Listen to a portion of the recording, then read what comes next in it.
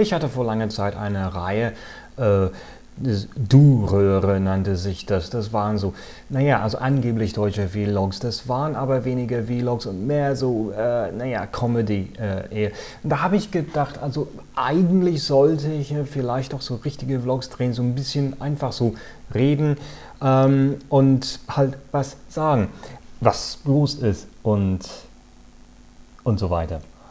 Mann, also äh, so einfach ist es nicht. Ich trage einen Pullover, es ist, äh, es ist Mitte Juli, ich trage einen Pullover, das Wetter ist furchtbar, fast englisch. Wer es noch nicht weiß, am 7., 8. und 9. August findet in Frankfurt am Main ein YouTube-Treffen statt. Äh, das offizielle Trailer gibt's hier Okay, wer jetzt, äh, wer jetzt Annotations abgeschaltet hat, ähm, hat da Pech. 7., 8., 9. August, äh, also das offizielle, nein, das nicht offizielle deutsche YouTube-Treffen, aber halboffiziell, aber irgendwie auch nicht wirklich offiziell. Öh. Ich hoffe, dass ich auch da sein kann. Ähm, nähere Einzelheiten, wenn sie bekannt gegeben wird, werden. Einzelheiten, das ist Mehrzahl interessante Fragen von, äh, von, von einigen Leuten. Ähm, da wollte ich nur. Ha, Hane, Hane, Hane, Han, Moment mal. Hanernikinoa oder so. Ähm, war ein bisschen durcheinander wusste nicht, woher ich komme und so weiter. Okay, okay jetzt, jetzt, jetzt erzähle ich, äh, wie, wie, das so ist. Ich bin gebürtige Engländer. Ich wohne seit 93 in Deutschland. Und äh, vielen Dank, Han Dings. Ähm, ich bin nicht 29 Jahre alt, ich bin 39 Jahre alt. Han ähm, hat auch gefragt, äh, welches mein bevorzugtes Land und welche meine bevorzugte Sprache ist. Ähm, okay, was soll ich sagen?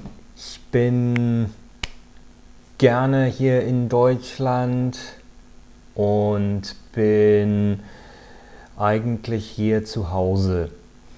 Mit der deutschen Sprache hapert es noch ein bisschen.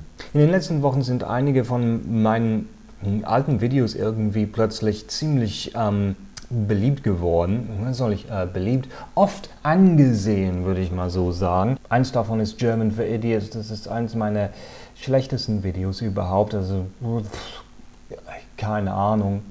Viele Leute haben den Witz nicht verstanden. So, ey, Alter, ich raff das nicht.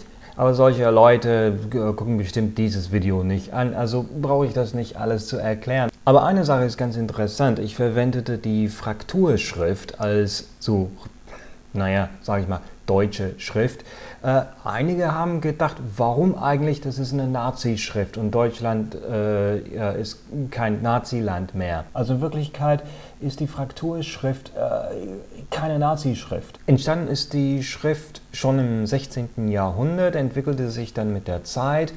Äh, Anfang der Nazi-Zeit wurde sie zwar äh, als deutsche Schrift ganz gerne angesehen und so weiter, bis bis äh, zum 3. Januar 1941 und da kam dann der Bormann-Erlass. In diesem Bormann-Erlass wurde die Frakturschrift als Schwabacher Judenlettern bezeichnet, was eigentlich falsch ist. Damit galt diese Schrift als offiziell unerwünscht. Eine interessante Geschichte. Also ich fand die Geschichte ganz interessant. Ich interessiere mich für solche Sachen. Es ist ja äh, wirklich spannend für mich. Okay, äh, bis zum nächsten Mal. Tschüss.